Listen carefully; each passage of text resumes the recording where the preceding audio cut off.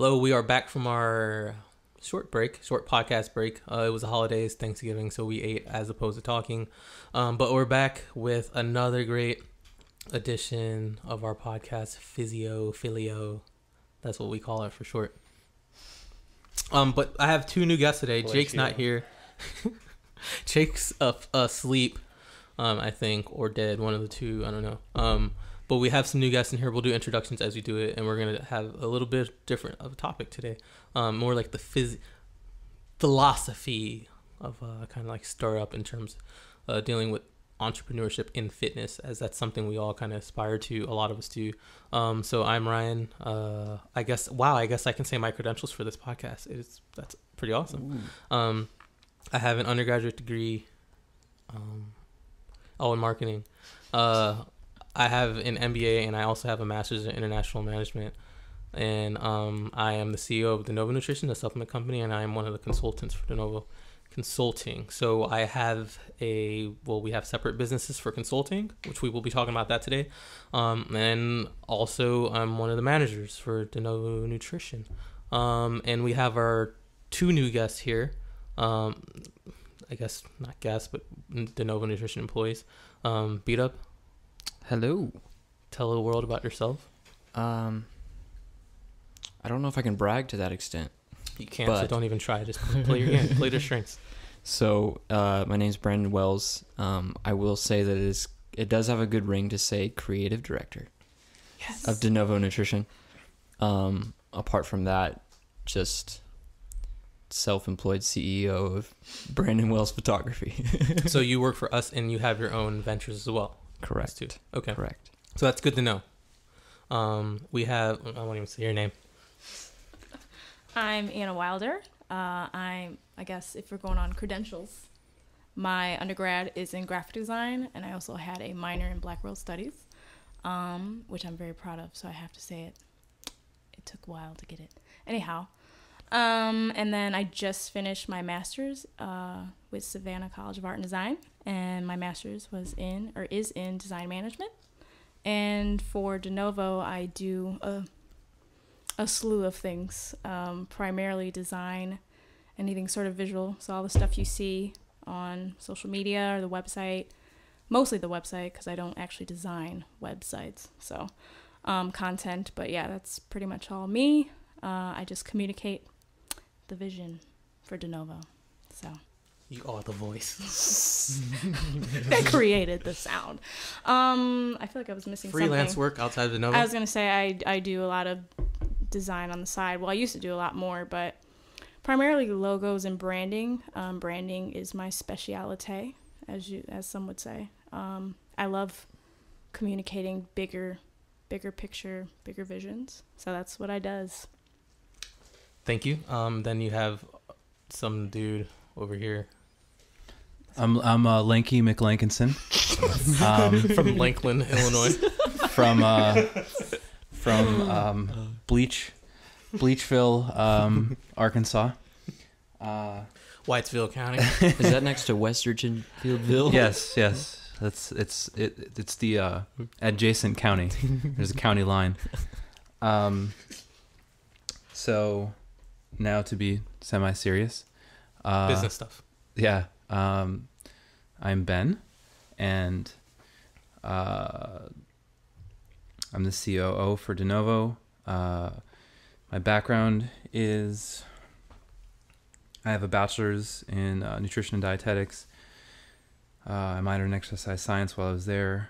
Then uh, I have my master's in sports nutrition, and I did my dietetic internship, so I have my RD, and uh, I also have a CS, CSCS, um, and I have an MS in wizardry from Hogwarts. And I, you're going back for your uh, for your Pippi certification right? from our last episode, I believe. Yes, um, I I will be uh, highly certified in in uh, the Longstocking method.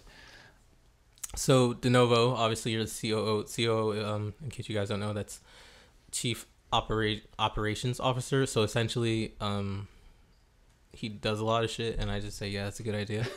um, Really? basically. Um, you should you should you should do something while you're here. You should work on the design while we do this podcast. Okay. Um, but in addition, he also obviously he's uh, the founder and he's uh, I would say one of the more busier coaches of De Novo Consulting um, in our consulting group. So all of us here Oh, I essentially, even, totally. yeah, all of us essentially here have um, work for Denovo Nutrition, and also we have other businesses. So I thought it was a very, and Jake does too as well, since he's just dead, I think. Um, I thought it was a very appropriate to talk about something that I get asked a lot, especially on Facebook, um, and I can't answer it alone, and it really takes, I guess, my tribe uh, to kind of talk about and discuss this with me. But a lot of people would like to be coaches. Now we've talked, we can talk about coaching, we have talked about coaching in terms of um, the background in education, um, but that's not the topic for for today. Um, literally in fitness, it seems to be a different world, business wise. Would you guys degree uh, degree agree disagree or disagree with that or any sentiments on that? Don't everybody jump at once now. Now, now, take your turn. What do you What do you mean by Okay, I actually um don't don't you answer. So because we've all all the three of us are in fitness. So Anna, you're an outsider to fitness. Okay, so business in fitness. I think sometimes we're so inside of this thing. Entrepreneurship in fitness. How? What do you see so different from where you've worked in the past in like the real regular world outside of fitness? Give us your Um, take. the world of fitness, uh, as I'm still discovering it, I would not say I'm woven in. Haven't been engulfed yet. I have not been engulfed, and I don't actually aim to be engulfed. Maybe you should test your squat tomorrow. We can try that. Um, I'd like to see how low I can go. Superset with buttercream. Hey, turn up. Um, Bar with heavy collars. okay. um, the business world of at least what I've seen, I can only speak on what I've seen. Um, it's it's exhausting. Uh, that's the very first word I think of is exhausting. Um, because it there's this it's like an underworld like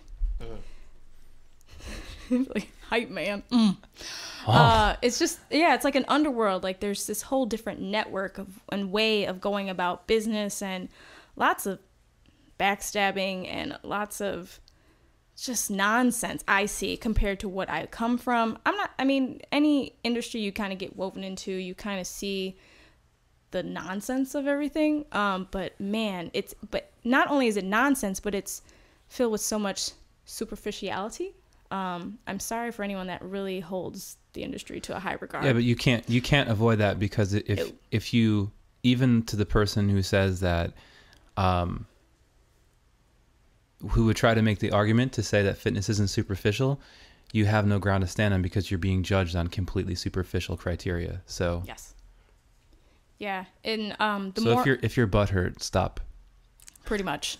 Um, but yeah, the more I actually I start listening to the conversations and seeing a lot of things, and since I've been on the social media, I am I see so much outwardly, and then I hear a lot more of what happens behind the scenes, and it's kind of nauseating to me. Like I can't believe people act like this, and I'm being vague because I don't want to get very specific um, from what I've seen or what I've heard. So I just for that. I think though, um, one thing that's interesting about that is like, I I would agree. There's a, there's a lot of that. There's most of that, but um, it's still holds that those are the brutal facts. And one thing Jim Collins talks about in Good to Great is confronting the brutal facts before you dive into any business. Now, if those are the facts that we're set with, that we kind of have to be kn- to know about, um, bluntly, how do you make a career out of those things? How do you still find love out of those things? Because we we've managed to do it. I mean, we have a great company regardless of those things that were said. And when I first got started, all I heard was, "Oh, there's no money in fitness. There's no money in this." I'm I'm good. I'm fine. I mean, I'm not rich by any means. You know what I mean? Like, but I'm not star. We're not starving. You know, or anything like that. Um, Well, maybe some of us from time to time. but I think I think there's an important uh, kind of point to even explore within that statement is is we're not rich. I, I think that can be argued because, well, sure, I think we'd agree that none of us are financially rich, but I think there's a wealth that we have here that companies quadruple our size do not have. Yeah, Um, absolutely. So I think, uh, and I think that actually somewhat addresses what what you brought up, which is like how how does how do you find uh, or how do you do something knowing those issues that exist within within the field Right. and uh, I completely agree with that first point, which is confront the brutal facts, but understand this is the way it is, but don't accept that this is the way it has to be. Right. And please, yeah, Oh, um, no. That's simply what I'm discovering. Well, have along my journey, I guess, um, what I've gathered. And that's kind of, but that's the beauty of De Novo and I think Ben's sort of original uh, vision, which I don't know your original vision per se, but I kind of get it. Um, I don't want to speak for you. But once you recognize something and you understand the rules of the game, you can change the game and you can play it how you want to play it and I think that's um, that's kind of why I cling to De Novo so much, um, and I hold it very high in my life, is because um, I don't know, it's it's like changing the game, and I think I don't know, that's kind of what we're doing or trying to do, and I like that because you can recognize what everyone else is doing and see what everyone else is doing, whether it's a company, a brand, a person in the industry, whatever it is, and you literally say, "Well, I'm not going to do that. Yep. I don't want to do that. I don't like the way that someone's doing that. So why not do this?" And literally just start I don't know, being just original thinking in this industry where everything is so superficial and vain and kind of backstabbing and So let me interject there mm-hmm. and say, and now it's going to kind of go back to the initial way we started this conversation is from the outsider perspective, you say, This is what I noticed about the industry. From my perspective, we'll call it the insider pers- perspective for lack of better phrasing. I said or saw, this is opportunity within the industry Absolutely. yes. and I think um, I think that's what that's what makes uh, life interesting and, and fun is that there's everybody kind of has their idea of how how the world works and how it should work and how it does work or how they th- perceive that it works and and I think there's there's some part idealistic to that and I think there's some part um, belief based, although that's kind of saying the same thing. Uh, and I think the separation with with this versus maybe everybody who has their strong beliefs and, and convictions is that it was just a point of action that said, I feel this strongly about my ideals or whatever and I know I'm not the only person out there who feels that way.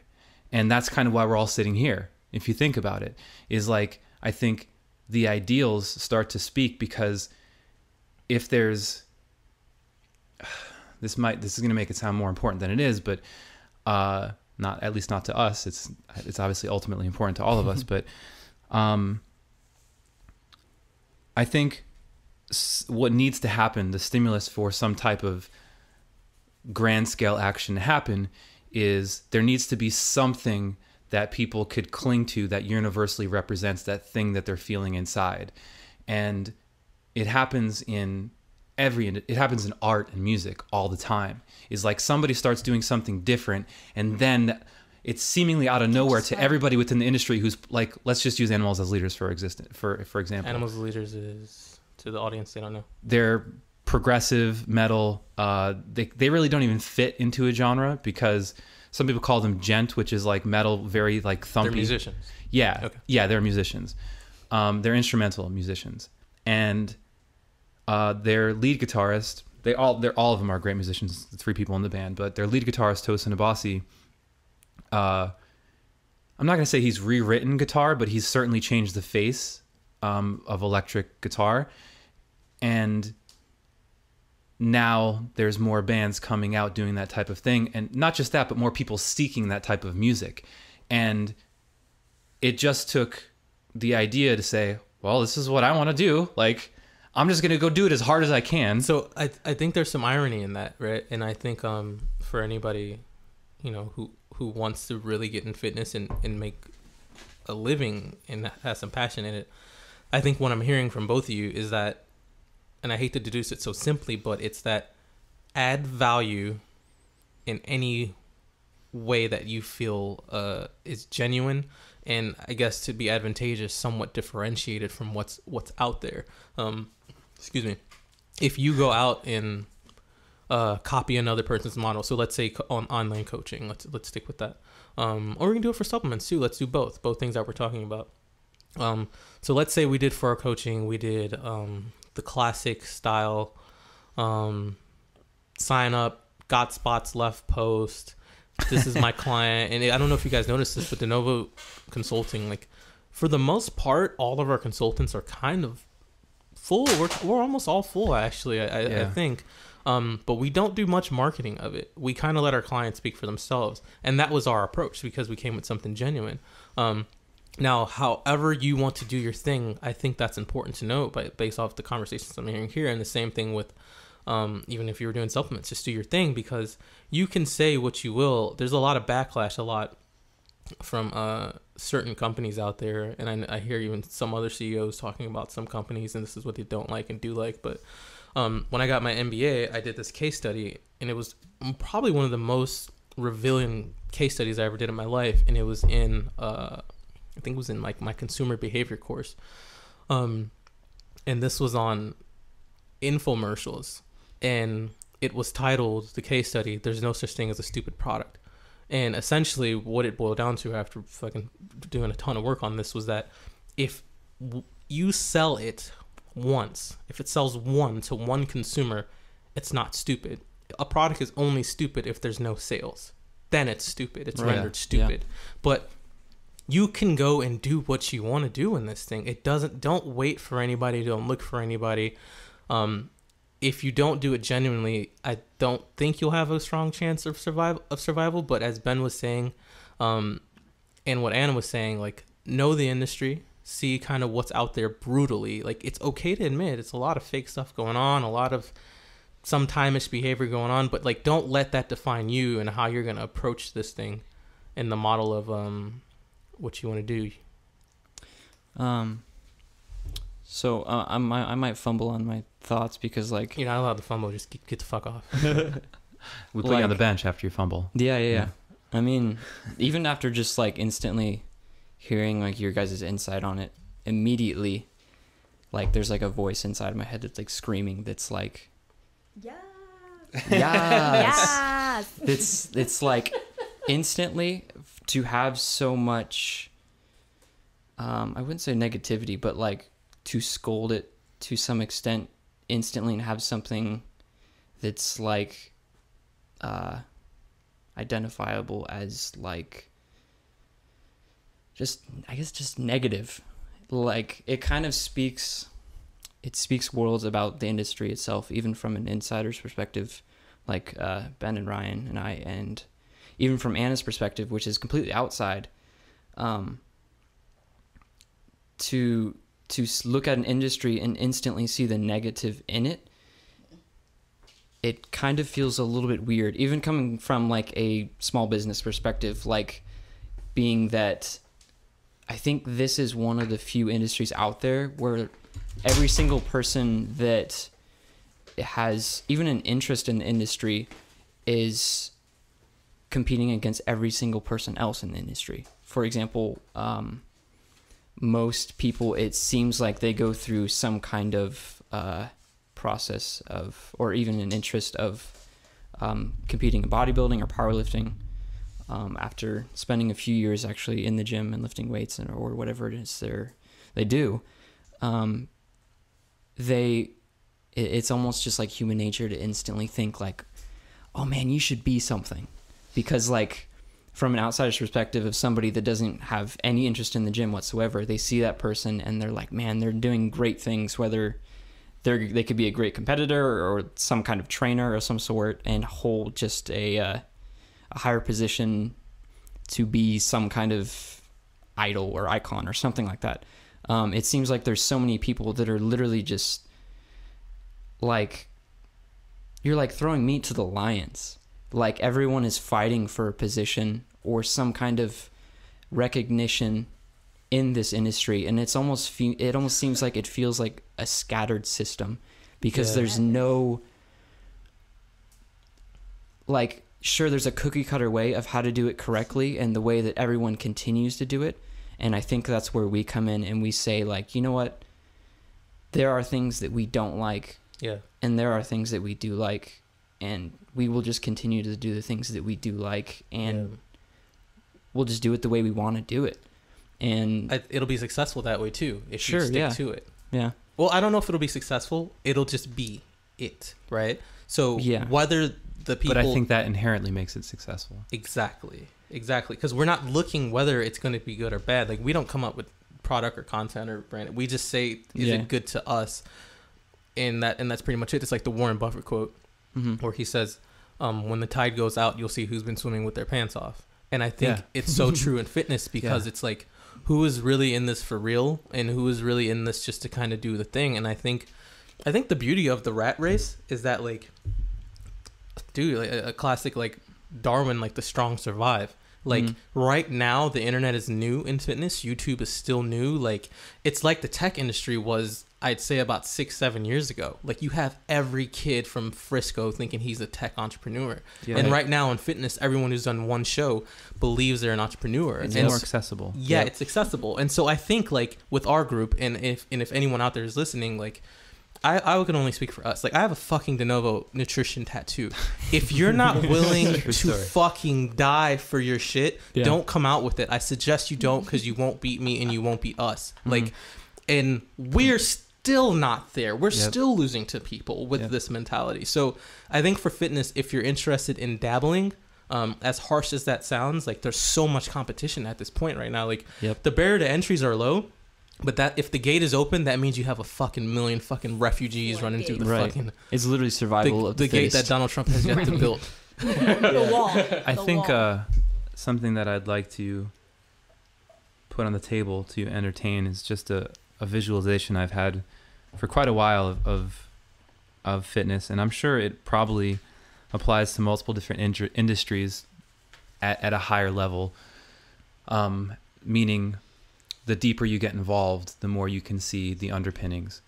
Um, and every time I think about it, I visualize a room that is filled.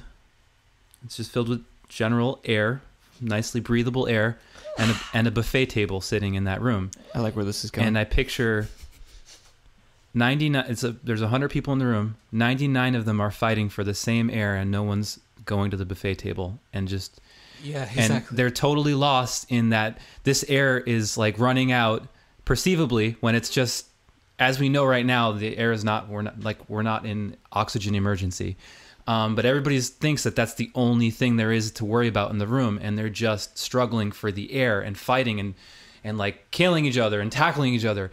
And no one's looking at oh well i can eat food too. Like i'm breathing fine right now. And my point in saying it is that I do think everybody has a place. Um, and I think the important aspect, uh, and this is just an attempt to unite all these thoughts together, is that I think the problem comes in when you try to play Don't ever play yourself. the place that is the place of popularity at that time, not the place that you are your skill set is best at. And that comes through very disingenuous. And and even if in the beginning it doesn't come through to you and you amass a following because I think that's happening too is is some people are just very good at being disingenuous because I don't know, maybe it's just within the skill set that they're just good at. But in time that catches up. And this is the thing we say in the house all the time, is works until it doesn't work. Whereas the difference is if something is just part of your heartbeat, your pulse of waking up in the morning, how will that ever die? Because Exactly. it's just you're just doing it's an extension of you. Mm-hmm. Um, and Th- I'm Yeah. sorry. uh, no, I want you to interject. and I think that is the fundamental Yep. place. And I want you to comment on this, Anna. Yeah. Like, so one thing that I think gets confused, and I I will use my marketing degree for once in my life, is that um, know your customer. So I I would like everyone to go on uh, my my page, De Novo Nutrition's page, and you'll see we have very modest followings. Um, even this podcast, it's a very modest following. Um, I would say the percentage of our following, it's damn near close, damn near close to 55% buy rate. Like our following buys major. So um, we don't have a super large following, but the percent of loyalty in that following is absolutely insane. And as you're developing a following, here's something to consider. Like you may have a hundred thousand followers and you're ready to start your business, but one thing you need to consider is like would they buy anything from you or are they just here to look at you are they are they here for Yeah. your funny jokes or are they, are they here Right. for your free content and, and selfies. you really have to stop and, and face these brutal facts like again it boils down to what value am i offering these people now there is absolutely nothing wrong if you have 200k followers and people just want to look at your butt selfie every day Yep. then sell or try to sell something and support yourself off of that. Yep. Uh, That's seriously do it, do it. Stick with that thing because if you want to sell, if if you're Don't doing try. Don't try to say I'm going to sell you the science of butt training. no, Yeah. Just sell your like- ass. Exactly. Like- Like like, like think about it. it. It's to me, it's it's synonymous with if if you do. And I'm not trying to be passive aggressive or rude here. We're really talking about the facts of business here. If your thing is known as the cute butt selfie, food pics, whatever the fuck you do, and you try to sell something else, that's like Coca Cola trying to sell you a fucking gun. Like, I'm like, what is, what is Coca Cola? And it just shoots some carbon dioxide out. yeah, it's just- yeah, like people are not gonna do it because it's a confusion in branding. It's a confusion in branding. Coca-Cola Uh, paintball. Branding queen, do you have any Yes. not so condescending? Yes. Brand, brand, what do you mean? Not I'm so just condescending. Drink my burr. Drink your burr. Beer. Burr means beer. Burr. We drink a beer infused with Utopian, which is out of stock right now. But if we back, what's the price of Utopian? Bru- Brutopian. four- four- 40. Burtopian. Burtopian. 3240. We're gonna have some Burtop. samples soon. So for for you guys who've been on the fence, you'll be able to try it. So I think And- you'll like it. And there may or may not be something to tickle your taste buds in a new manner in the taupe variety. What could it be? I'm not sure. Baked bean. I'm conf- I'm confussed. Do tell. I'm gonna wait on that. Yep. I'm gonna, I'm gonna keep my eyes peeled back. Branding and followings, Anna. Go. Um, Advice advice. Uh, advices from um, an outsider. just Let me go. From go. the main streets of Chicago. Okay. Oh, I'm sexy too sweet chocolate. I forgot about that. That's me. Please Um, don't curse on podcast. You already did. Okay. Fuck. Use your curse. Che- um, what what what? Branding, branding, and uh, the following.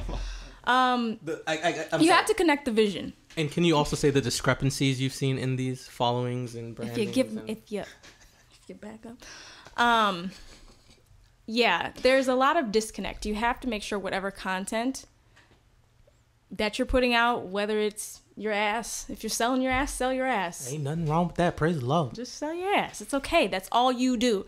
Don't. It, it- like you said, it's like a confusion. Like it's a mix. A logo's mess- not gonna do it for you. Oh my god. Beer Burp. got you. Hashtag. All right. Anyway, back on track.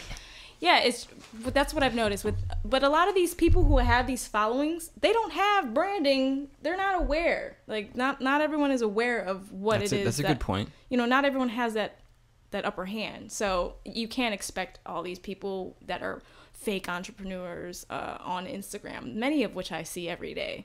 Um, you can't ex- they they don't they really don't know what they're doing. They see, they do. They see other people doing it, they're, they're going to do it too. And that's why you have these unoriginal people, unoriginal ideas that whatever it is they're selling, unoriginal brands or lack thereof, or mixed messages. They really don't know what they're doing. They monkey see, monkey do, and that's really what I've noticed. Why do you think it's like that? Um, specifically in this fitness industry is because it's definitely not unique to just fitness. When you're done, I'm I'm, speaking. gonna. Yeah, I'm speaking Yeah. just about what I've seen. Um, from what I've seen, I have done my little research in fitness industry. I've tried to watch as many documentaries as I could watch. Uh, I, Scope the IG. Did you give the wrong advices? I I caught some advices, but I didn't give wrong advices yet. Um, but yeah, just what I've seen, what I've studied or researched, explored, whatever it is you want to call it. I see that they have an idol. A lot of these people have an idol. They see a company doing something, and they're, I, I can do that. I'm gonna do that too. Or they think they're they can fully be self-employed and do it, but Well- there's no. Some people do achieve a certain level of creativity or uniqueness, but really, it, like I said, it's still monkey see, monkey do. You see an icon or idol doing something, and they hop on. and I think um, I'm going to try to uh, maybe piggyback a couple different industries within the same concept um, that that you see in, in in medicine and Oh, you'll see tech. You'll see. You see Yeah. it. Samsung is not that original. Digital. Um, like something they they they call it in pharmaceuticals is Me Too drugs. Um, generic. and it, it yeah exactly It's generic. And it's basically kind of buying up the patents of drugs that are already out there, not necessarily bringing in new pharma, Mm-hmm. um, because R and D is very expensive. Uh, Get rich quick. Like, exactly. That's the idea, and that's that's a universal concept. and I think one of the things to consider with all of these things that, that are kind of being brought to the table right now is that the fundamental idea to not get too lost in is that because person A did it this way does not mean that it's the only way to do it. And even if that person is your idol and they did it that way, that doesn't mean that you can't do it another way. And I do think that's that is something that can tend to get lost in translation and fitness is this person I like this person I like what they stand for this is how they did it therefore I'm going to try to use the same means to do it Yep. um, and if if you look at business and the way things grow uh, at least in, right now in the day and age we live in uh, it's the people bringing something new to the table that are that are catching fire. It's not like the apple one that's still selling and like that's you know uh, decades ago. So um, the the other thing I, I I wanted to bring up was uh, I think I might lose my train of thought. So if anybody has anything to I got say, you. please jump in. I got- I have I got something too. yeah. Oh, Go ahead. okay. Um, I was just thinking about there was a video. I don't know if I shared it to you guys actually before, but like there was a video I saw about like um, it's actually a pretty common like test. It's uh, it was about like um, they like so these people put like uh, they started with they put a monkey in a cage. Have You guys heard this one? They put a Have you monkey heard in a the cage. one about the guy? I don't know Yeah. yet. they put one monkey in a cage and they put a ladder in this cage and at the top of the ladder they put a pile of bananas or like a, a, a what do you call them like a when there's a lot of bananas in a bundle a bunch of bananas. a bunch of I a don't bunch know. of bananas We'll, we'll just call it a bundle. yeah yeah we'll Bundle. call it a bundle um Banana bundle. so what they did was they um i think they like attached like a shocker or something to the monkey Oh. so every time he went up this ladder to reach for the bananas, they would shock him. And it got to a certain point um, where he would just stop climbing the ladder. And when it got to that point, they would throw in another monkey in this cage. And then this monkey would see the bananas and he'd go up the ladder and try to get the banana. But the first monkey was the only one that would had like the shock collar or something like that. So when he saw the monkey going up the ladder, he knocked the ladder over and beat up the monkey because the way he sees it is, you know, he's gonna get shocked or something like that. So, um, fast forward four monkeys later, um, It was a weird It's a monkey orgy. Whatever. they, yeah, they they all knew that tactic. Like they just they understood don't climb the ladder or we all get shocked.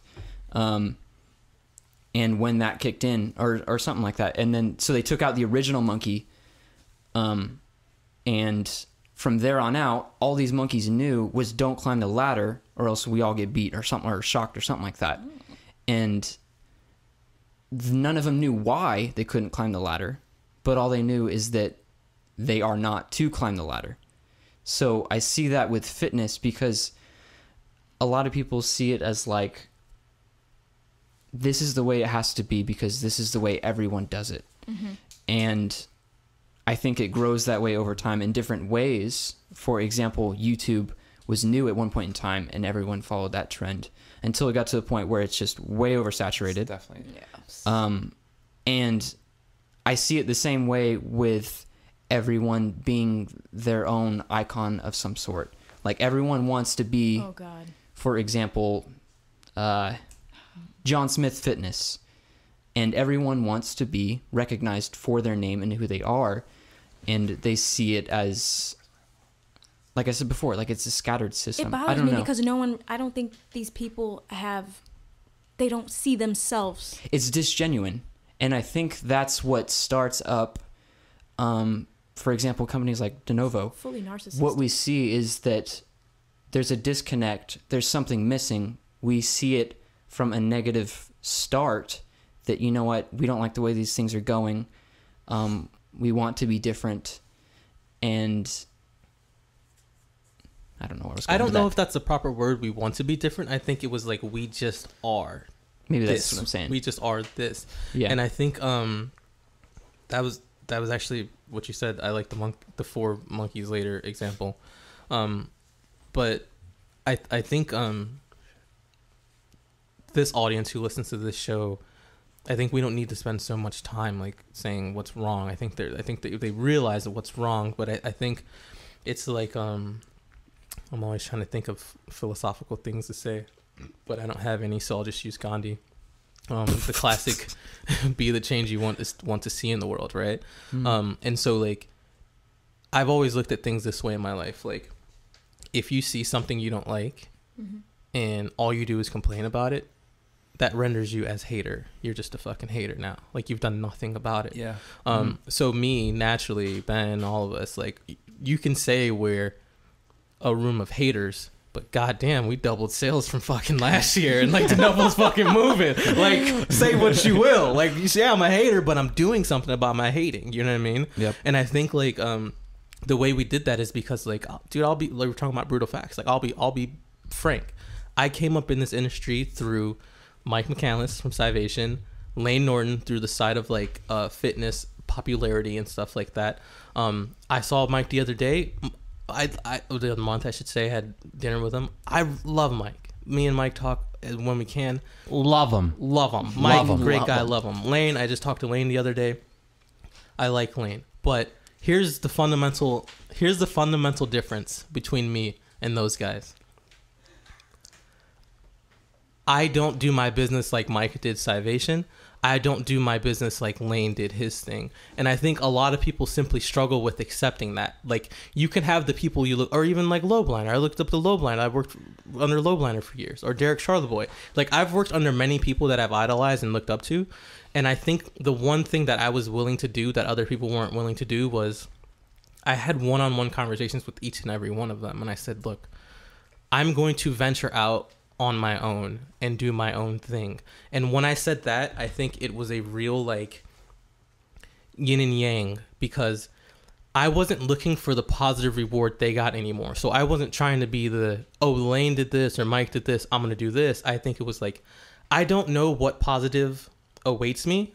I'm not sure, but I'm I don't know the yin, but I know my yang in my in my journey ahead. So like I think the thing with us and what people have to realize is to kind of succeed in this industry. Excuse me, I drink a beer and I'm burping. As cutthroat as it can be, is that the first thing you have to accept again is those brutal facts. And with those brutal facts, the first thing you have to accept is how shitty is this going to be if I go out on my own? Mm-hmm. And I literally never, ever, ever think about the good things that will happen to me. Not because I'm a pessimistic person, but I'm ready for my negatives. Now, like whatever positive comes out of it, I'm I was never chasing that to begin with. If you have your eye on the prize as I want to be this end goal positive thing only, you're gonna be fucked up when you see the, the negative things happen. Because the, the truth Right. about entrepreneurship that I think we all know, and people th- say terrible, ridiculous things to me, like, "Oh, you're you make your own schedule, must be nice." Like I don't think people know how everyone in this room, how manic we are. Like we've had a full day today. Um, what time is it? It's one a.m. now. Like we we work a, a lot. Like there's a lot of missing out on a lot of things in life, And I think the thing that people miss out about entrepreneurship is it's, it's a true yin and yang. There is no real perk to entrepreneurship. Like, I wouldn't be an entrepreneur if it weren't what's needed. If it would put it, I would put it this way: if you don't have to wear glasses, don't wear glasses. If you don't have a burning desire in your heart that you cannot, I fucking hate any boss. I hate work. I hate school. I hate it all. I was forced into entrepreneurship. I would really sit and be honest with myself. Is my job okay? Am I okay with listening and listening to someone else? Am I okay with working standard hours? Because if you are, this is the same thing that McCandless and Lowbliner and all these people told me. Don't do it. Really think about it because this is seems to be the best option for us, for our personalities. It's not that we want to be I have no people say people said people always you know people always say to us I sound like uh, Tim uh, from Tim and Eric they say man what you guys have it must be so nice Well, they have no they have no idea here here's the beautiful thing I think about um I guess doing your thing and wearing it is that at some point you have to realize that there is going to be a wave of perception that is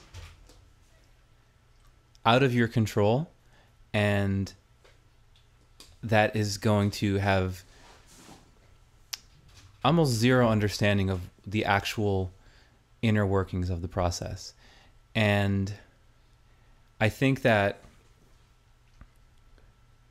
I think that can be a funny part of of for me because really I didn't totally get into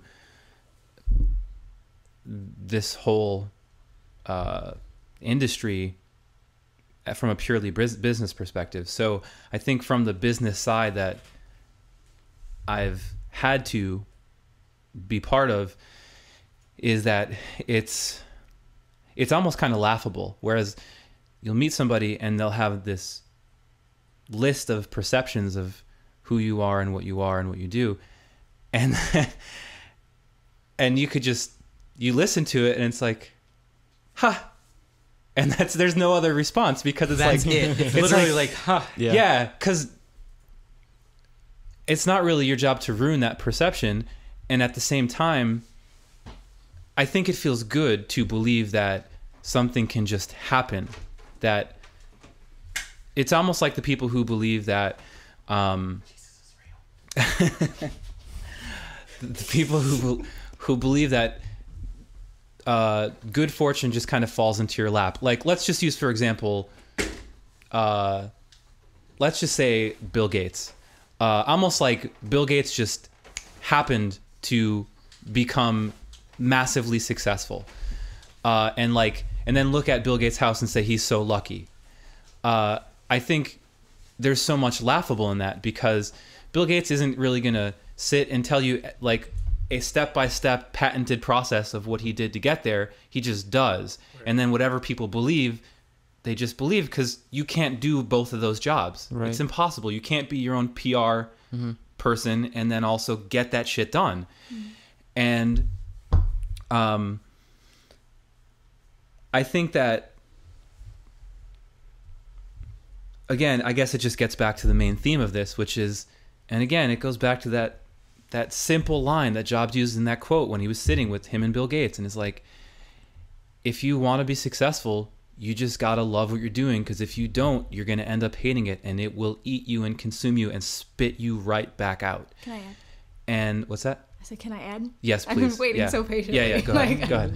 Well, before you, Ryan spoke, before Brandon spoke, and then after you spoke, uh, and this will all tie in. But I wanted to be clear. I, I prevent, I present a very cynical um, view of the industry, but I, I wanted to say that I, I don't get. I'm a very hopeful person. Uh, I'm. I like to say I'm optimistically realistic with life, and I present and live off of a, a hope sort of thing. Like, not that I hope things will get better and I'm weak. wish I don't. I, I, I don't. I, I wish. I wish. wish motherfucker Stop. Try not to curse, okay? but um, I don't know. This is why I got into branding. Um, And I got into branding because I had a hope for it sounds cheesy, but I had a hope for the world. I really had a hope for the world that I could I, I didn't know my way of changing the world, um, but I knew what I could do, which was manipulation and Yeah. kind of changing the things that people see uh, every day. So every I, I realized how important our everyday visuals, our everyday interactions, and then how important they are and how they shape us. Um, I even think back to just Sega, Nintendo, like my childhood, and how important those things were, and how they they really kind of changed me. Like they really changed me, and that's not my first. That's not what made me want to do branding when I was like four playing Sega. That didn't happen, but I recognized early on that wow, our everyday interactions really do change our perceptions of our realities, our world, our everything. And if there is a way where I can change what we look at every day and the messages we consume every day, then I then I want to do that. And that's and that's I kind of found my way. I started with graphic design and I realized that wasn't big enough Yep. that wasn't enough. Mm-hmm. I really needed to shape companies and brands and really kind of put out there what I wanted from companies. I don't care what comp- type of company it is. I'm mm-hmm. just so happen to be in the fitness and nutrition industry right now. Sure. Uh, and, I and just what a place to be. right. It's a very interesting place, and that's why I say I prevent I present this very cynical approach.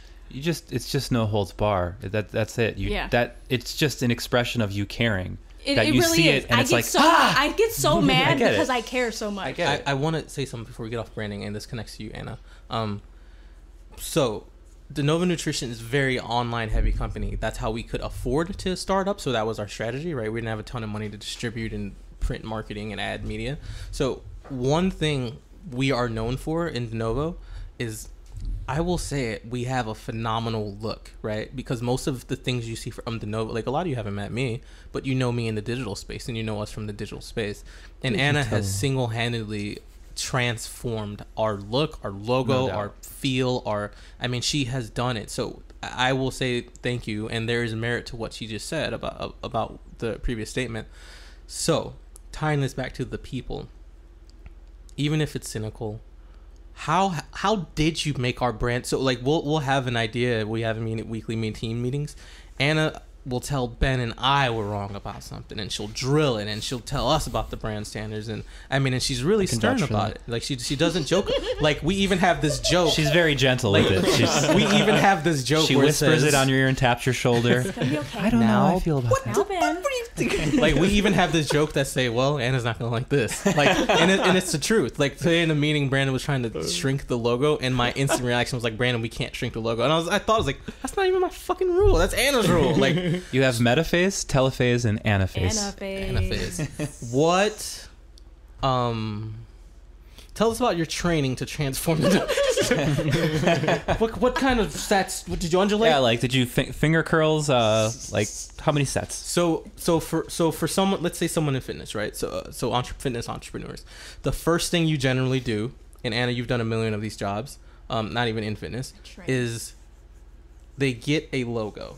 That is first step. Oh. Okay, Anna, come on with me. Yeah, yeah. Come on with it. Come on with another one. um, I, I'm here to say that branding is an ongoing thing. Um, it's like think about branding like this, ladies. Do you go out, thread your eyebrows fucking once, and then you're good for the year? No, no, you, Shape them bitches no, you have to do a lot of work. So, Brandon, you can chime in on this too. But like in the fitness industry, I- I'm literally asking, how have you guys made our image so? I don't fucking know. I didn't do it. Like. Ben and I are just like that looks clean. like, like we have, I know exactly. like What's- what's how wrong with that? how sway. How? Um, who In gonna fitness- who gonna be? So, I'm sorry. So tell me, Medici tell me, tell me, tell me what you see. Not so much wrong, but not different in fitness, and then what you brought. Don't give them the secret formula. No, you. Know shit, but, you know, saying shit. Go ahead, get 'em with it.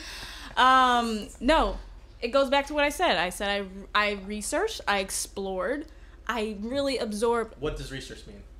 I looked, I gathered photos. I looked at companies. I looked at the leading companies. I looked at niche companies. I looked at what was hot, the trends. I looked at everything I could look, and I'm still looking at everything I look at. How how long did it take for you to do your research project on this? Uh, my master's research project uh, started. I decided on de novo as a topic in April, March, Shit, March, March of 2015 this year, um, and I just finished it last month, November. Um, conclusion. Seven months. I, I, you do the math. you do the math. I, I don't I don't add. I just design. Um, However, I've done my research before that. Uh, when I when you guys first brought me on, you literally just asked me to do a logo. You just did the thing. You just kind of you just kind of talk shit about what you did. Hey, low key, I did that. I was like, we just need a logo and you, you get out of here. We don't need you anymore. Then we're like, do we need to add for one more thing? yes. And then it just kind of kept going. Hey, But hey, You- banana. Can we get some more help? Branding, But um, yeah. vision, Okay. digital. Digital. Um, I like I said, I looked at everything I could look at. What is that? They don't know. I looked at companies, like their labels, website, like labels, Apparel. packaging, Yeah, okay. everything. I looked at all that I could look at. That's I mean, most people most introverted people that get into a topic, uh they Get they're on something, they get immersed in it. They consume themselves with it.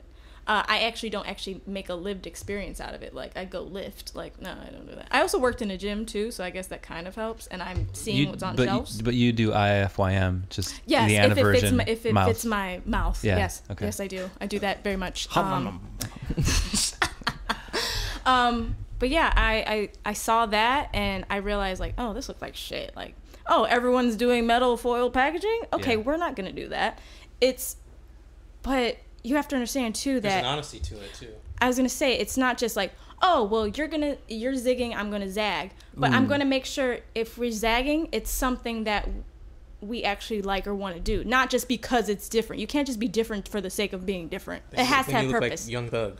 Y- yeah, Let me fake Lil Wayne. let me ask a guided question then, because um, I do think to some degree everybody here has an idea, but I think something that would probably be interesting for most people uh, who have seen a lot of our branding stuff and our logo stuff. Um, I also just do what I like, so that helps. Gotta have good taste. so So, taste. so and that that's where this question comes in is you can't obviously if, if you're just going to make a design that says i like the way this looks it might not fit so much of what we represent so how do you merge the two i think um, from just being a stylish timeless design to now also integrating uh, seamlessly into what is what we represent Um, I know Brandon wants to say, but well, I will well, just. you go ahead because I was gonna say. I'll, I think we can both answer that. both yeah. can, yeah. Um, Ryan said taste. It it really ha- honestly. I've done. I've been designing since I was like twelve. Um, I never said I was. I I was good, but I've been doing. I put in my ten thousand hours. Yeah. Like Mhm. Mal- Mal- Malcolm Gladwell. Uh, Outliers. uh, outliers. Shout shout out Malcolm Gladwell. Also, al- also that example that Ben used about uh, Bill Gates. If you guys want to know, like literally Bill Gates' journey on how he got kind of lucky and he worked hard. Um, Malcolm Gladwell Outliers. It's a it's a good book, and he talks about Bill Gates in that one on, on his fortune and luck and work. So go read that. Um, And then his brother Robbie Gates, who didn't work as hard and is now still in Burger Shaggy King too? washing dishes. Shaggy Gates. hey, I like Burger King. um, Let's take one for the team.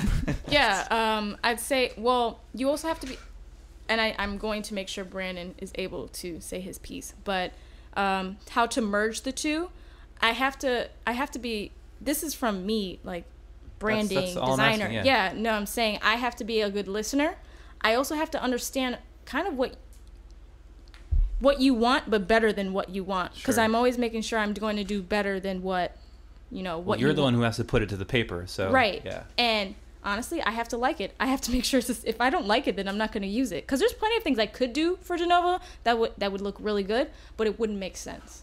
And I have to keep making sure I whatever I do ties back to the message. So Let me ask this because I know the answer already, but I'm going to ask it to both of you. I was gonna say Brandon's still Um, supposed to go. But what I gathered from that response was that you need to actually have a mutual understanding of each other as people. Absolutely. And I think that's probably essential. The right people. Yeah. Yes. Because yes. if you make something that you think is beautiful and you say is great, and every time it gets shot down, Mm-hmm. that's Something's not working. and it would not exist Right. in that company. Oh. so, uh, Brandon, anything you wanted to add? Um, yeah, I was taking notes because there was ideas that were just gonna go We're out of time. Sorry, guys. out one ear. um, I was actually just thinking, like, after listening to Anna talk, I'm, I was thinking, like, man, what if Anna wasn't here? Like, when we, we let, let me hold let on, me hold on, hold on. let me let me explain. We'd have neon green. We'd have black. We'd have Oh. every color in the spectrum. Purple. Ben's branding. The D and the N stacked on top of each other. Anyway, we could rotate Hon- them. honestly though Yeah. that's almost like a, a question we can't say because it's like my degree in marketing like i was a rebel in my like my marketing program was phenomenal Right. so like i only would fuck within anna Right. or we wouldn't have it at all so Right. it's like our formulations with ben like Sure. Yeah. we just then we wouldn't even the, Yeah. like if we didn't have that standard of a person we would wait till we had it or we just Mhm. wouldn't have it at all Mhm. essentially Um, from my perspective, um, coming from like the whole like image background, whether it's photo or video, um, hold on, let me check my notes real quick. Um, I would like instantly like one of the there's the few of the first things that ever stand out to me whenever I'm like um, planning to work with somebody, whether it's a company or like a certain individual. Um, I think one of the biggest things um, is the create creative aspect of just standing out. Um, because especially in fitness, there's a lot of things It's just white noise, and um, again, it ties back to everyone doing the same exact thing. Um, especially from like a photo background, uh, I even find myself at times thinking like, okay, how in the hell do I make this different? Um, because it's it's kind of a broken record to me because I hear it all the time in the photo industry is that you don't have to be better, you just have to be different. And like we mentioned before, when But everyone go- else is zigging is when you zag because that has proven to have some of the the greatest like for example like Andy Warhol, uh, Banksy, you know, just like timeless Yeah. artists like that ever existed. When there was when everyone else was zigging, they were zagging, and, and they become part of that time period. right, Like it's like they're cemented yeah, in time with that. Yeah. and it was just who they were. Yep. It wasn't forced. It wasn't. Yep. It yeah. You know what though? Like, and I think uh, so from from anyone in entrepreneurship, whether you have a small lean team like we do, I think we have seven people or something like that. I, don't- I think. Um, hold on. Seven. Um, one thing I have done as a CEO, um, is that everyone, for the most part, um, not everyone. Obviously, you have new hires, but um, everyone in this room, at least, I had a relationship with Ben before we even spoke a word about business. Ben Mhm. liked how Ben noticed some things about me that I did, um, and I like things about him that he did, and we just kind of mutually expected respected each other's skills. Same thing with Brandon.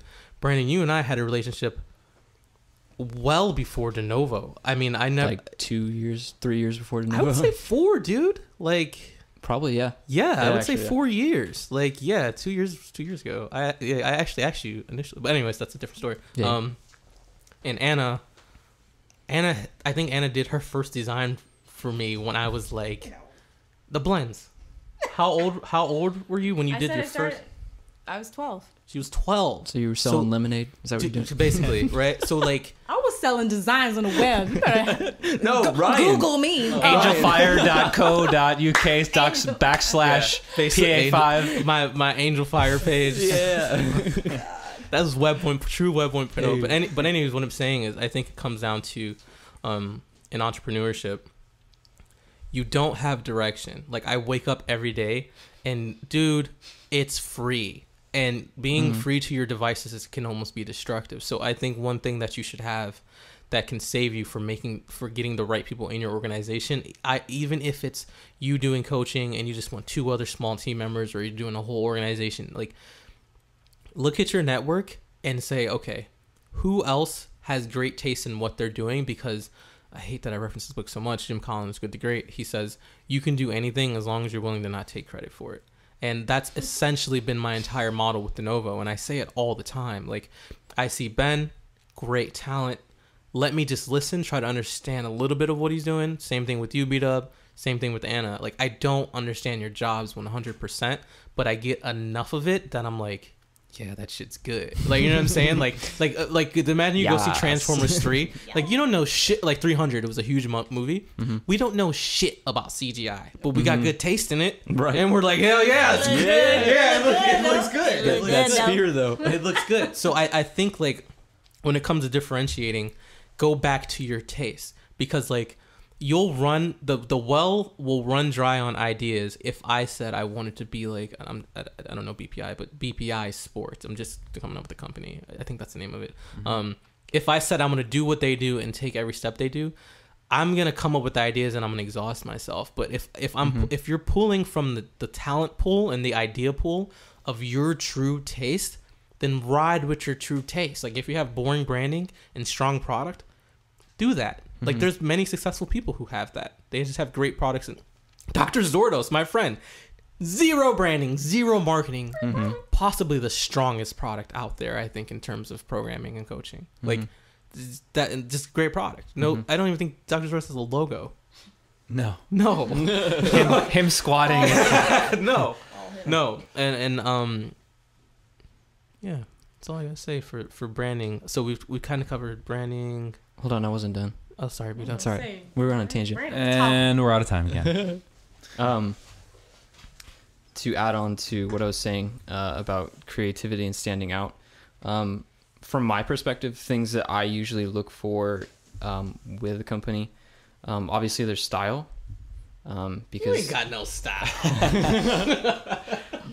um, that plays a huge part of it. And for example, in imagery, it's um, s- like one thing that usually stands out to me is whether it's production value.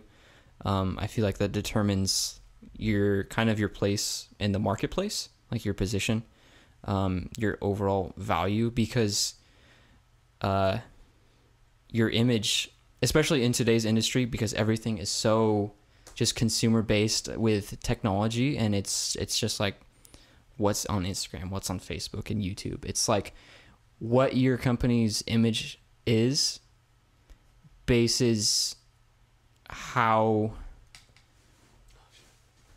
how am I going to say this?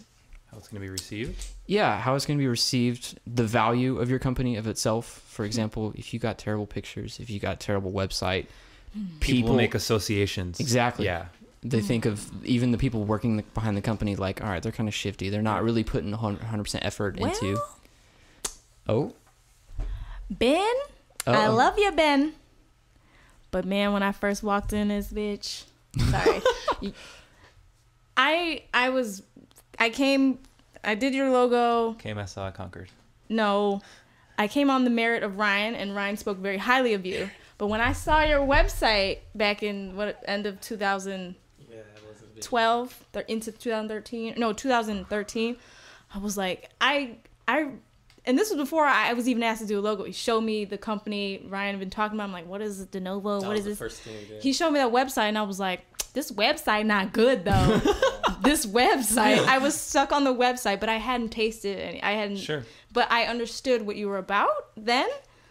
But okay if I had just went off that website, I'm like, he ain't got no good taste. But, but I think it was as good as it could be for the Yeah. skills But- that he had. Okay. but that raises a fantastic point. It's why 2011 De Novo Nutrition is not 2015 2016 De Novo Right. Nutrition because the terminal point of success was reached with me alone. Mm-hmm. Therefore, You got far. you have to realize mm-hmm. when you can no longer carry the weight all yourself right. Mm-hmm. and that you get to the point where you are now your own worst enemy um, and so i think what came piggybacking again both on both of your ideas here is that what probably came through to maybe people who were searching that site going for products was this is a very product formulation centric yes, company. absolutely. And Yeah, that's yeah. very much what it was because I just wanted somewhere I got I could put a write up on there Yeah, yeah. and tell you what the product was. I don't care how fucking pretty it is. right. like the product is pretty, just the Yeah, nitty gritty. Like, like Coke in a Ziploc bag. it, and it was in a Ziploc bag for a long time. Yeah. But goddamn it, it had a lot of leucine. Ben was the plug. But yeah, that's another thing that did stand out too was that sure the website might not have been great and it was only you running it, but people knew like, okay, this is good Well, this is stuff. Ben. the product was good. Yeah, Yeah, yeah, yeah. But Um, you had, but you have merit too and respect. So that yeah. I'm. I have no idea why. I Oh Ben. What? got anything else? Yeah, Oh, you, no, had, go you ahead. had a pretty big list if, Well- if you wanted to. Yeah, I don't want to. I don't want to change topics. No, no. The, the last thing that I had written down was just uh, company image cohesion. Like everything has to mesh. Everything has to be consistent. Um, like you mentioned earlier, Yeah. we need branding on a daily basis because you have to consistently put out things that um I don't know where I was going with this. Why does it have to mesh? Mesh. Better yet, because we know we're like, yeah, but why? Like, w- what if it doesn't? What is the result? Miscommunication. Yeah, um, I think people. I mean, regardless when you're changing your stance every two seconds, whether that's your actual company mission statement, the integrity of it, or even just the imagery of the company, um, people see it as very inconsistent, and sometimes they even think of the business as inconsistent Mhm. when it's especially in a in the world that we live in now, where image is a huge factor um, everything has to be cohesive, and um, I think that's that's the cool thing about what we do is that we pump out a lot of good things that are co- cohesive and uh, yeah, I don't know where I was going with that. Well, I th- I think um, it gets back to kind of like why we use the word tribe so much. hmm We don't use it for like a cool thing, but it's literally like like when we compete. Like Ellen, LS, and I have this thing. Like we say, like let's eat. Like we got to eat hmm because it's like if my brother doesn't eat, I cannot eat. And Mhm. like our our tribe mentality forms that cohesion, and I think a benefit of it um, is that we're still small, and like it's dude, one month we'll be killing it. We're like, what do we do with all this money? And then another month we'll be like. Uh, just just wait on, just wait. We'll pay you next week. Just wait on. it. You know what I mean? Yeah. Like, like, Yeah. lit- like it's literally. It could be like that month to month. You know what I mean? in the mail. I promise. Exactly. I promise. Exactly. I swear I'm sending it. To, you know what I mean? And I think like, um, those, it won't always be like that, and it's already moving in a direction where it's not been like that in a while. But I think those tribal roots, as long as we have these original people, Mhm. um, these original leaders in organization, where it's like, it's like my parents, and and and, and I think biasly. I wanted to implement that because like my parents are from South America, Guyana, which is a third world country. It's small, like Mhm. they're South American, and my whole life it's been if mom don't eat kids don't if kids don't eat and it's like a whole it's a tribe it's literally like it's a survival culture Mm-hmm. and i think like obviously we have money and i think there are some elements to that that work for that cohesion you know what i mean it's it's like a sisterhood and a brotherhood that's like unbreakable because like we can go back and forth and i have our fair share of arguments but like Anna, we ride for each other. You know what I'm saying? Like, and like Mhm. Ben and I, we can be off Yeah. the same page, or Brandon could be traveling, but like I'll be like, dude, get it back when you get back, or if you need an event, like you know what I mean. And it's like Yeah. the the and I think with that tribe mentality, if you're hiring people with that mentality and working with people in that mentality, like the minutia goes Yep. Mhm. quickly. Yep. Like there are so many. Like there are. s- Anna, what did you say on your status today? Don't make a something. I don't. Don't make a. Oh, uh, don't make mountains out of molehills. Yeah, yeah. And like if you truly have that link, that band for with people you're working with, nothing they do will truly get under your skin because it's like, well, they do this, but I fucking need this person and they fucking need me and all that shit just kind of goes by by um by the wayside, I guess. So Mhm. with that said, I think usually when you have people who are tight, um, they have this ability to kind of like s- stick within themselves, and I don't know why. So I don't know if you all are familiar with uh, Myers Briggs, Um, Myers Briggs, I don't know exactly, but it was from Carl Jung. I, you would know better than me. Yeah. Um, Um, uh, he was, I, I believe, he was a psychologist, and uh, Carl from Jung- he learned he was from Fro- he was under Sigmund Freud. he was a boss. yeah, he was from under Sigmund Freud, so he had all of Freud's works. Yeah, he really was, and he developed a test, a personality Well, you're test. way far from that microphone. Um, he developed a personality test. Man, I, I, I don't even want to speak too much to the history of it because I, it's I read about it, but I didn't really retain as much as I'd like of it. Uh, but basically, or Myers Briggs, and Myers was under him. yeah, it was it was a group effort. Yeah, Yeah, yeah, yeah, yeah. Um, yeah, Isabel Myers Briggs, I think, Yeah, because Jung developed the first test and then she evolved it. evolved into 16 personalities. Yes. Um, but I'm I don't know where you're gonna go with it, so I don't want to. All right, we'll stop there. That's good enough. Okay, so there's a personality test. Okay, um, I have a personality which is called an ENTP. You can Google it if you'd want to, but Everybody should take the test. It's, Yeah, it's, I it's think- actually very interesting and Yeah, enlightening. Good yeah. for self learning. um, I am the only ENTP in the company. The company is, per, I would say, eighty-seven percent. Oh, it's more than Uh, that. It's probably ninety-five percent INTJ. Yeah. Hey. It's strongly INTJ. Like I think maybe I just have a natural affinity for the INTJ. Maybe maybe I just admire how they work the most. but um I think having those fundamental things in place in place are important. And and what I'm getting to with this um, is that I have a group of INTJs who often doubt their work as naturally they're introverted. They doubt their work a lot. They doubt what they want to say a lot. And I will say this to you, and I'm gonna say it clear. Um, I ha- I read this book last year called "Disarming the Narcissist." I forgot who wrote it, but it's a woman social worker, and I forgot her other certification. But you should you should, you should read it if you have time. It's pretty good.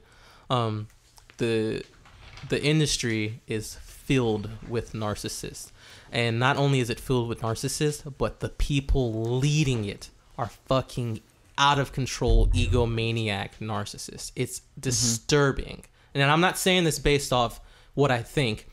I read one book on narcissism. No, I'm fucking with you. like, no, it, it, there, it's, it's, it, I, I really do think with what I've read, it is, con- it, they are cl- clinic, clinical egomaniacs. Yes. Now, here's Yeah. what you need. Here's what you need to consider with your work if you if you want to go into fitness entrepreneurship. Um, I just well, uh, another book. Um, another book. Marcus Aurelius. Marcus Aurelius, as you know, was a great uh, Greek general. Um, I guess kind of a compliment to Sun Tzu, and he has this book I'm just started reading called Meditations. And one of the one of the sections that I read that I really like, and he says, and it's basically his daily mantras, meditations to himself. He says, "Today, I have to face ignorant people that I do not want to." And he says these things to himself every day, and he says all these things to himself, and I and I really like that. And I think I go out and I do that every day uh, before I get into the fitness industry because as you guys have got to know me, um, it was when I was living alone by myself and I would plop a camera down and rant for 10 minutes.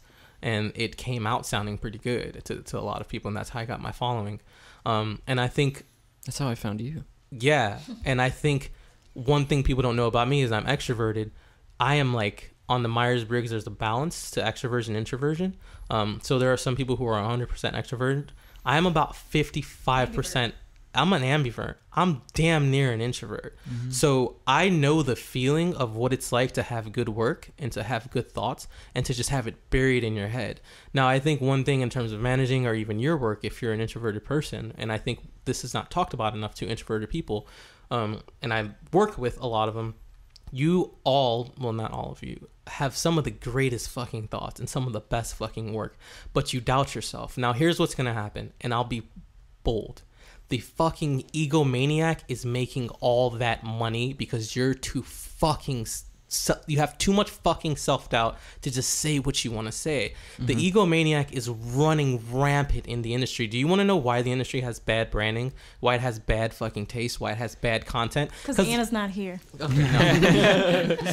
because literally the egomaniac puts it out once, doesn't double check it, and it says, "Oh yeah, that looks good. Fuck it." And that's starting to become the standard. And so I think with Right. with what you want to put out, you really if if you're the type of personality where you're really doubting your work, know that, and I got this from Anna from I forgot the designer's name. Um, Oh, he's not a designer. He's a writer. he's a writer. Do you know his name? Uh, Ira Glass. Ira Glass. That's right. Um, the first stuff you're gonna put out is gonna be good, right? And he says, but there's gonna be a real gap between your volume of work. It's like training. Like the first time you squat, it's not gonna be pretty, right? But like, put out your first volume. Put it out. It's not gonna be that great. Just put it know out. Just put it out, right? You know you and and but you know it's it's he says it's not what you want it to be but you know the taste and of which you want it to be at, Brandon. Like I'm sure, or Ben or Brandon, like your first formula. Or, no, actually, your first formula was really good. Uh, What are you trying to say over here? That's what everybody's tasting. Actually, is the first it's formula. white cake. He just nailed it first. That was beginner's luck. He's had some ones that had, that are not in the line right now. Like your first photo, I'm sure it was shit. Like I'm sure you saw what a good photo was, and you're like, "Fuck, I want to do Yeah. that." And then you looked at yours, you're like, Yep. "Oh, it was shit." Yep. I, I Like- do that. Yep. So what I'm getting to, alluding still to, do that. is that right exactly is that the egomaniac why it's so bad is because they're so narcissistic. They put out their first volume and It they're can't like ever be bad. that worked. It was really good. I'll just keep pumping out the same formula. It's got to work. And it's really bad. Yep. so in fitness you have all these it's ironic because a person who is physically kind of uh, superficial is naturally a little more narcissistic. Someone who is more internal it doesn't it's not so concerned with their superficial image. Right. um don't what i'm saying is don't let these people run rampant like if we want to make this better like put out volume one okay it, it was it was not where you wanted to but don't get disgruntled like put out volume two and keep going i want to say I, dude, I cannot tell you how long I've been talking to a microphone or a camera. Like I'm doing this podcast. This literally feels like the millionth something I've put out. Like go back on YouTube, go to the go to the Natty Pro channel, not the De Novo channel. Look at my first video. I dare you. It's shit. It's terrible. I'm stuttering. I can't look in the camera. Like look at my shit now. I look dead in the fucking cam. Yeah. Like it's just through volume volumes of work, and it's like anyone else, you know. And um, again, know that if you don't do it and you start getting your volume up of your work and putting out your branding and put and just putting out your stuff, you're gonna let the egomaniac run wild. And what you gonna do, brother? What you gonna do? NWO for life. That was Um, good. yeah, I think that stuff in my head. I almost didn't say it. I'm glad you did. I'm ambiverted. There you go. You flipped your functioning to get it out. I'm just angry and I get it out. Yeah. Uh, I'm not sure. I mean, there's ob- there's like 20 things that I feel like I could say in return to that, but I think the the the only real one um, that I would say is it's just it's a simple line that my mom always told me, and her father used to always tell her, and it's that the wheels of the gods grind slowly but ever so efficiently, and I think that is a mantra that uh man it just it has stuck with me through every single year of of my life because speaking from my perspective um as a more reserved person uh my inaction is not that I don't see things um and I will make this more broad. I, I'm just getting there. Uh, it's that I'm not quite ready to do something about it yet. And it's because I don't think, I think th- the perception that most things are an emergency is actually a dangerous game to put yourself in. Because what you end up doing is throwing out a lot of things because you're just afraid that the timeline is it's like it's like the, the walls are closing in on you and then what happens is you kind of look back on it and you say man i wish i would have looked back and revised a little more on it and I, I make this analogy all the time is like and i guess that you can make it analogous to golf is like playing the long game versus the short game uh, ironically in golf the short game is kind of what wins the match but you can't beat a dude who can drive 500 yards and plays the long game well. But now the only difference is we're talking about time here.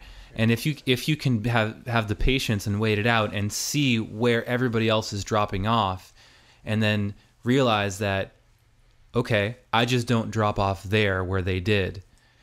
you can kind of see then okay now the time to take action. It, it it's it's ready. Um so i think the only modifier i'd put to your statement is don't be so worried that you don't ever take action. It's it's just there will be a time and and if you are really passionate about the way you feel about something and what you see and the gaps you're seeing and no one's ever filling them it will make it will make you do it it will make you come out of your your shell to some degree um, because if you think about this uh, the way we even met I mean, I was a dude who just basically lifted in his basement, did everything in his house. The only social connection I had was classes and any kind of like camps, like VIP camps. And then we ended up started talking, and that started everything. But even at a dinner, I would have just been sitting at the end of the table, not talking to anybody. You know what I mean? And it just became like, no, this needs to happen. Go, like, go out of your comfort zone. So I, I think something ironic about, well, at least at least with the, uh, Ann and I from the same hometown. So with Brandon and Ben, um, I'll tell you, an extrovert, how I have managed to find talented people to work with. Um, with Ben, I knew I have this thing where if I have a feeling that I think I know you, I will say something. I'm not the type of person that acts like they don't see a person in a room.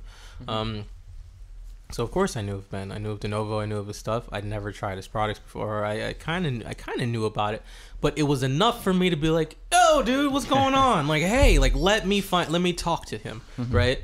Um, at the time, I had a big following. I had a great year of pro show contests. Yeah. Um, but I reserved all of that, right? I know Ben knows about that. What do I need to talk about that for? I was like, let me just hear what this dude's. I don't know anything about him. Let me hear about him. Um, Brandon and I, um, our relationship started, believe it or not. Um, we knew August as a mutual friend, and he and I would just have these random conversations at like 1.30 in the morning about like things we didn't like. And it was literally like we'd be like, "Hey man, let's catch a time to talk." At the time, You know what grinds my gears? right. At the time, I had no idea. My intention was to never get anything from you from those. My intention was never to get anything from you. I was just having conversa- conversation. So I have found, I guess, as someone who wants to be in business, great people. And if you want great people to be a part of what you're doing, by just literally loving people and talking to people. There has been no magic formula. I have found some winners in my life, everyone in this room, but I would say statistically, if I had to if I had to tell you how many people I've invested in and talked to mm-hmm. versus how many of you have actually are in this room that are paying off,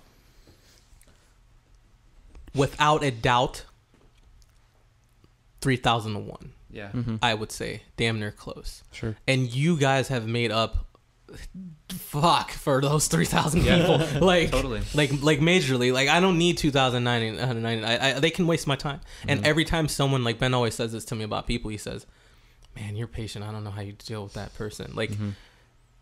because you never know when you're gonna get a star. Like you never you never know. And that ties back to my humbleness not because i'm patient because man i realize how weak i am that i can't do this alone like i cannot get through life by myself i cannot say i want to be an entrepreneur and i want to do this and i want to do great things in the industry and all i have is my um my egotistical Ambition. fuel yeah exactly exactly exactly you done you did I got I got something to say. Are you good? Um, you looking swole over here what's funny? thanks. what's funny is that like what you just said, what it was again like another voice in my head. I'm like, all right, all right, all right, yeah, yeah. And then you talked in the mic. I'm like, you stole it. Um, that's what i do i'm the steel guy yeah. Like you mentioned, you speak Steal to your formulas. like you said, like three thousand one. Like that's you talk to that many people. Um, I think that's that's like kind of my. I guess just on this topic in general, like that's my, I guess my takeaway. Um, talk to people because. I think, especially for all the people like listening, that are probably going to listen who act, who probably want to do something in this industry of some sort. Um, finding the right people to actually mess with, me- mesh with, not mess with. That too. That too. Yeah, yeah, sure, yeah. Bada bing, bada Whatever boom. scratches your itch. Um, finding the right people to mesh with, like, I think that's what life's all about.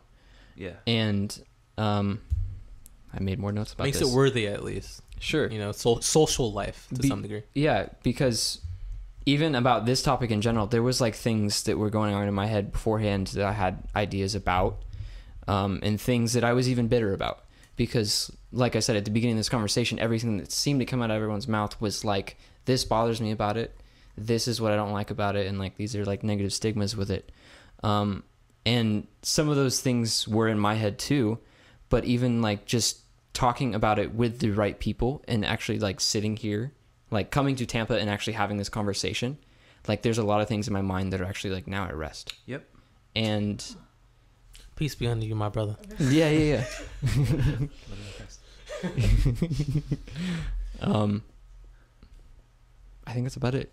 dude and i think that's tribe mentality Right, right, yeah, yeah. like like if like if i had to and one thing i would say about, about you you guys in this group and anything you should look for um it's a classic example. So like we were we're still at the startup point where we work so much and i use the term foxhole.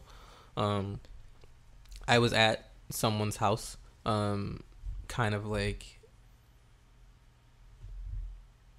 kind of like um doing stuff I usually don't do, like kind of talking a lot, having like dinner, um, like you know, just like doing things I don't usually do. And I left and I got in my car and it was like yes, like and I got back and I saw Ben and Jake here at the house.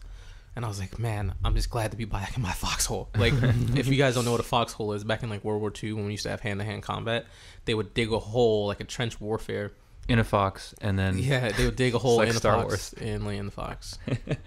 um, and, and they would fight out of the foxhole, and you'd be with your, your brothers in the foxhole, and you'd just be shooting at Charlie. Uh, you'd just be shooting through the fo- the foxhole. And like, as discomforting as that may sound, that's actually very comfortable to me because like, if I'm gone or one of us is out of town or something, like I have unwavering faith that you guys will have my back. Like that's why like my management style is never scolding work from anyone Yeah. ever. Like because I know you'll do it eventually. Like if you don't do it, there's a good reason you didn't do it. Like I, I have full faith in you, and I think I have that same trust that is rare, uh, and I think you should look for that. If you if you cannot. Well, I guess that kind of changes because the relationship cannot be based solely on money. I think and that's I, I think the way I, I'd I'd verbalize it would be, um, someone has to get it without you having to pitch it to them. If you have to explain what it is and what it represents and how it operates, they're just not ready. They're just not there. Um, they just got to get it, and and I think just getting it happens within a sentence usually. Yeah, that's. But I think the heavy part about it, like getting it, and what's heavy about it, and there's there's so many more fundamental things to look for when you talk about getting it. It's that I Jake will say something sometimes, or Ben will say something, or uh, I mean uh, we've had a lifelong relationship, or you will say something, and my thought will be, I'll always think.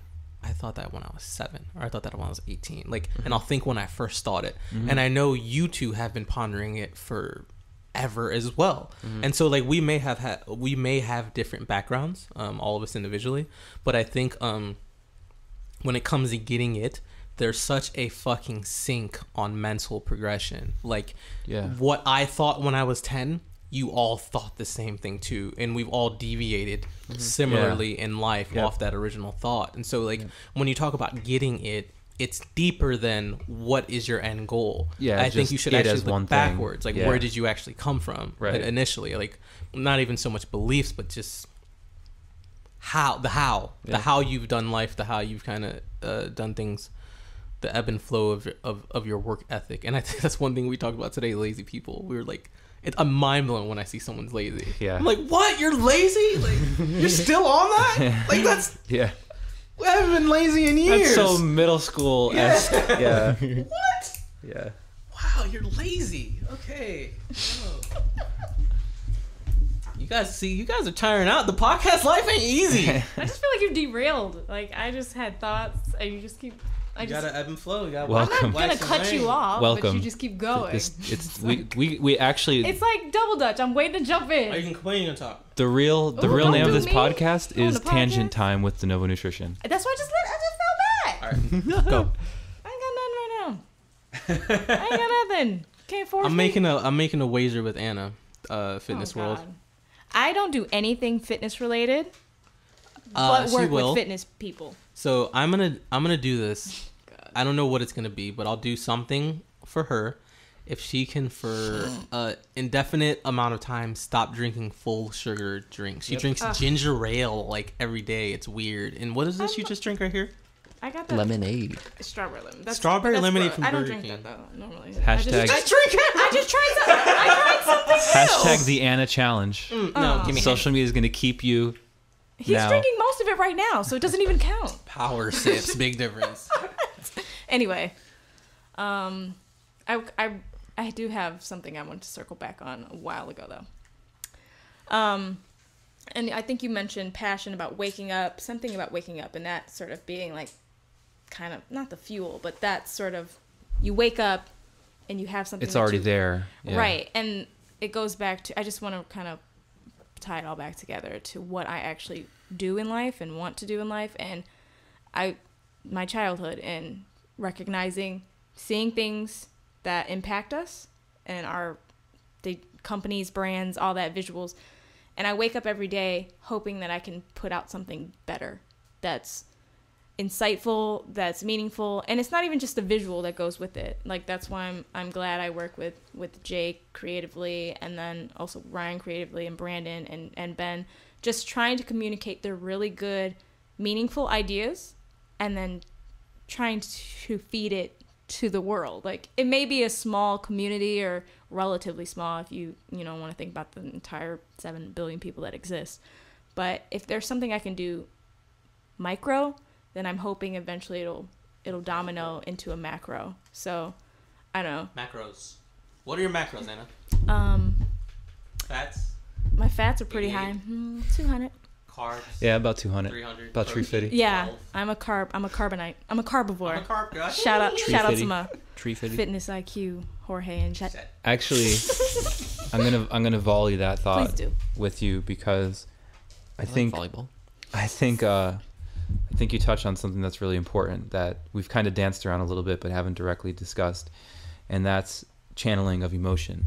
Um, because when when you work with people you care about and you do something you care about, you put in Oh yes. and you get back a feeling from doing that, and you hope feels. that somehow that feeling is echoed by someone who receives that same thing and i think uh i think that's definitely a commonality with with definitely this group i, I can't speak for everybody else but uh i think you hope that someone receives that same let's just call it love that you put into the the creation Yeah. of that thing or the manipulation of the matter to make that end product and no one here wants to put out a cheap message or cheap sell it quick. Is it gonna be hot? How many likes we're gonna get? Like no one here really does that. Thinks that way. And and think but so i guess in, on the terms that i'm speaking think about that is like it's because you almost want to get the feels wave not the feels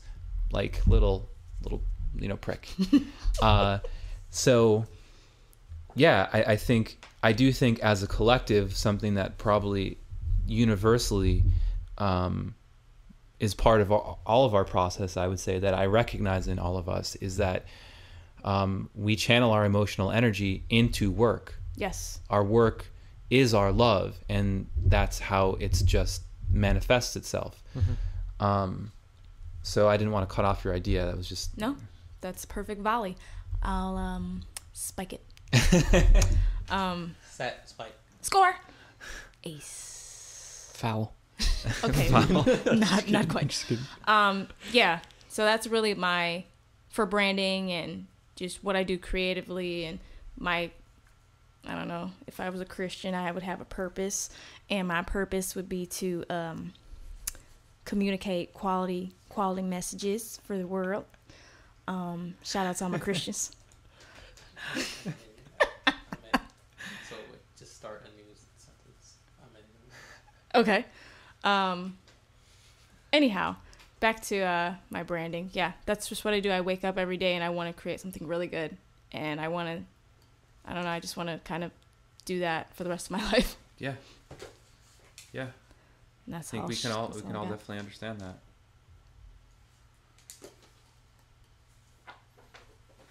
I see contention all around. Yeah. You want to give a sign off? This is sexy too sweet chocolate. Um, signing out for the night. It's about two a.m. Shout out to all the lovers out there. All right. Um, major takeaways. Um, get your shit out there. If you if you know you have good stuff, get it out there. Um, it's not always gonna be what you want, but but get out there, find the right people. If you want to have be a lone star celebrity, know that all these people in fitness who are lone star celebrities have a massive fucking team you just don't know about. Yep. So there's there's no such thing as a one band show, even if it's re- present. It's like an actor. You think the actor does everything. Yep. Um, so look for the right people. Um, don't copy anybody because if you copy, you'll the well will run dry on copying ideas to be like someone else. Um, and I can't stress enough: get your stuff out there. I mean, just don't just don't put stuff out there to be someone else. Just just be yourself and take the leap. Or just uh, entrepreneurship isn't isn't for the light treading. It's an all in this. So, um, thank you guys for being on, Brandon Thank you. especially for coming to town, coming on. Anna, thank you for being on. Thank you for having me. Ben, thank you for having on. Yep. Jake, thanks for coming, Jake. Rest Well. in peace. well, yeah, thanks. Jake was on this whole time. You guys didn't know that? He just didn't say anything. Well, Yeah, yeah. Yeah. We're still gonna ask Jake to write. Jake writes all the descriptions for the podcast. We're probably still gonna ask Jake to write this. Shout, shout out, shout out to uh, Kelly Thigpen and all my, my homies back in Texas. Sued by Kelly Thigpen. Hey, wait, can you tell that story before we go? I really like that story. Oh God! Just tell the story. From how far back? The OG cowboy. Um. Okay, so you want to talk about entrepreneurship and doing what you love? Uh, Yeah, tell yeah. him about tell him about how what he said, how you met him, and what he does for a living. I'll try to make this as quick as possible. Uh. Okay, so I uh, I had a gig for this uh, trucker magazine. I was shooting the cover for it. It's called Over Overdrive, and uh, they put they uh, got me in contact with one of these big this big trucker driver who hauls like livestock for a living, and uh, I met up with him super early one day, and uh, we met on the side of uh, this highway where he was going to uh, he was going to drive his truck, and I'd follow him, and we'd go out to the ranch where we're going to shoot uh, this truck, like stationed by a bunch of cattle and bulls and, and stuff like that on this farm. And uh, little as I know, it's like four miles off the beaten road, and I'm like terrified the entire time I'm going on this trail. But um, we finally get to the farm, and and actually, like the trucker is one of the nicest guys I've ever met. Um, probably because he's alone 24 seven. Yeah. But um, the cowboy that pretty much owns the ranch, and his he had two sons that were like six years old, that were like like diehard cowboys. Like this is like straight out of a movie. And the trucker's like, "Hey, uh, I'll introduce you to the, the cowboy real quick because he said he's uh, he's gonna help us out in here in a little bit." I'm like, All right, cool. So we walk over to him, and uh, I'm like, "Hey, how's it going? My name's Brandon. I'm I'm taking pictures this after uh, this afternoon." And he's like, uh, "Hi, how's it, how's it going? My name is uh, Kelly Thigpen." Personal. And, That's uh, his real name. Yeah. Big pin. Kelly, shout out to Kelly Thigpen if you're wondering how to be a better entrepreneur in fitness. Yeah. I, I doubt you'll ever hear this, but shout out to you, sir. This will be on the internet forever. That's Well. the internet. How to duty. How you doing? All right, you you've all probably ate uh, go count your macros that you probably ate meat from Kelly Thigpen. So thank you all for listening. Um, talk to you next week. Ho- no, next week's not Christmas. So yeah, we will talk to you next week. Yeah, yeah. Okay. See you later.